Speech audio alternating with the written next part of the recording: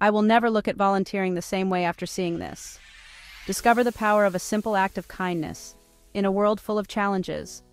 There are unsung heroes bringing hope and joy to our veterans. Oath to Country Foundation, Lawler Customs, and Sergeant Coffee Bean, just to name a few, are stepping up to make a real difference. From cleaning homes to providing essential items at VA hospitals, these volunteers are proving that kindness truly matters. Their dedication is not just inspiring but life-changing. Each act of kindness is a stepping stone to a brighter future for those who served our nation. Want to join the cause?